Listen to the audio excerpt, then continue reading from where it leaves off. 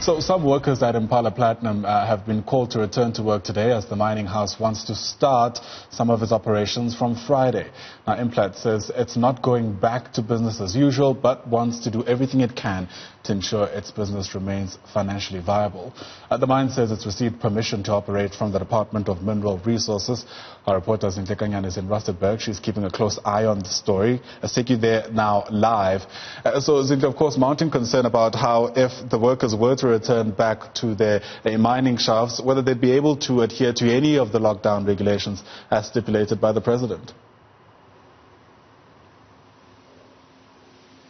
Well, it doesn't look like that, Ayanda. At this point, we've managed to make our way through the 14 shaft, um, Impala Platinum 14 shaft, which, which, is where we are now. Uh, when we entered the shaft itself, there are police officers that are barring everyone from going into the shaft at this point. So it seems as though the police have really secured all routes coming into most of the shops of Impala uh, to ensure that nobody is going to be reporting to work this morning. But when I came here, there are a few gentlemen that I found uh, standing around this particular area. They are Impala Platinum uh, employees. I just want to bring them in, Ayanda. Sir, thank you much. Thank you very much for joining us.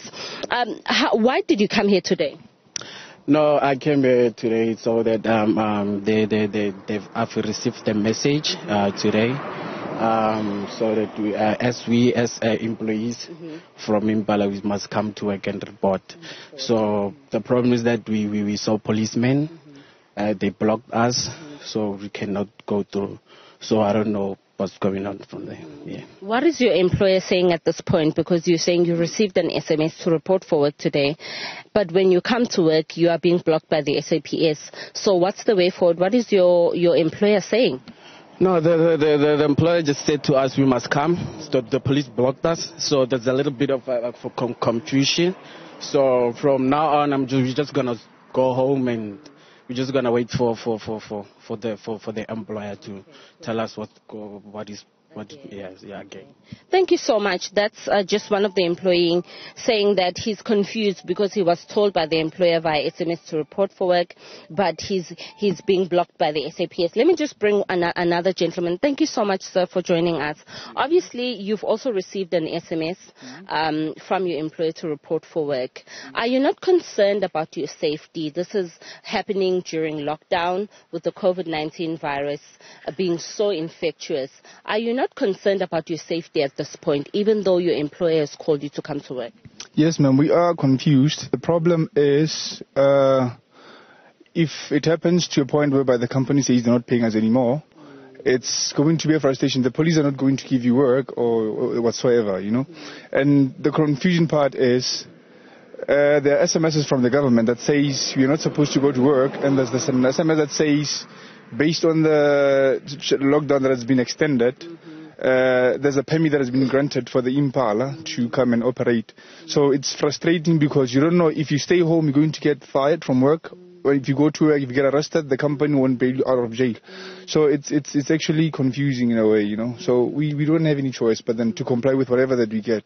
If you get if you get arrested or if you come across police, you will uh, show whatever that has been sent to you that this is me being home. I've been home and I've been sent this messages to go to work and stuff. You see, so there's nothing much that we can do.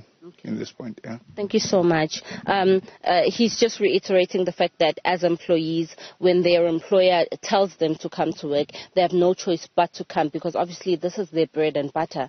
But at the same time, there's confusion because now the SAPS are enforcing the, the lockdown regulations and making sure that nobody reports for work during the lockdown. Let me just bring in one more gentleman here, Ayanda. Thank you so much, sir, for joining us. You also received an SMS to come to work. Is this whole situation not frustrating for you? Hey, khaitsedi go maswe.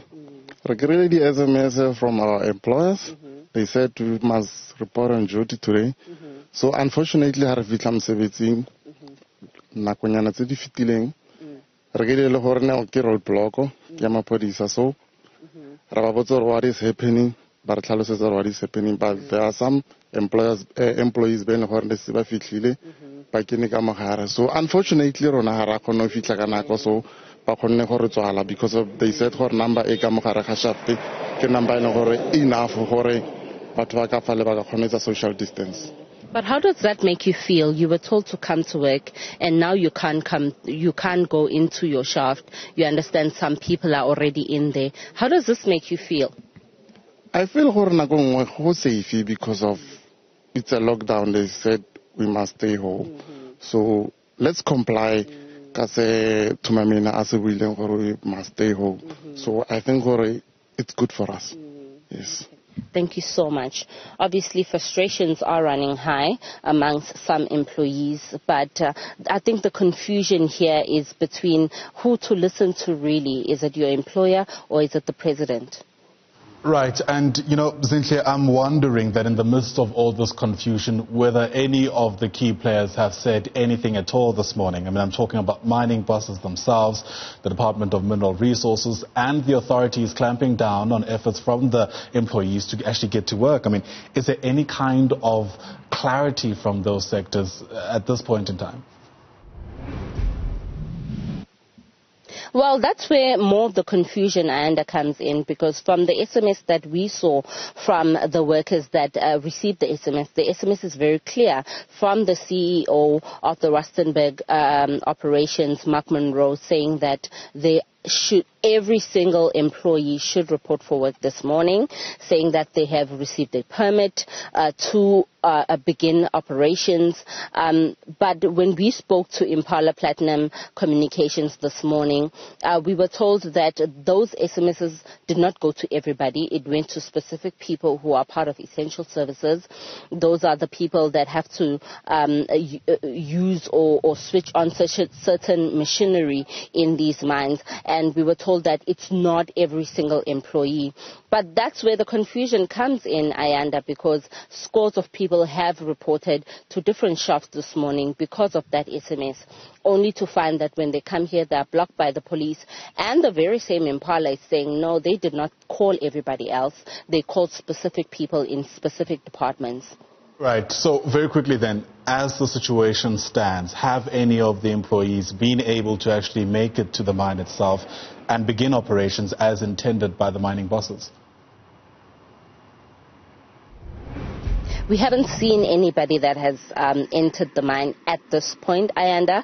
We spoke to the police officers that are blocking the entrance to this particular shaft, 14 shaft, and they said nobody has been allowed to go in. They have been here from the wee hours of the morning to ensure that nobody enters this particular shaft. So as it stands, we don't know if there are any people inside the shaft. We don't know if operations are indeed uh, beginning in this particular shaft. But we will be getting those answers and we will be keeping our viewers updated on this developing story. Absolutely, a cloud of confusion amid mounting concerns uh, for health considerations. Zinhle Kanyane is our reporter live to us from Rustenburg in the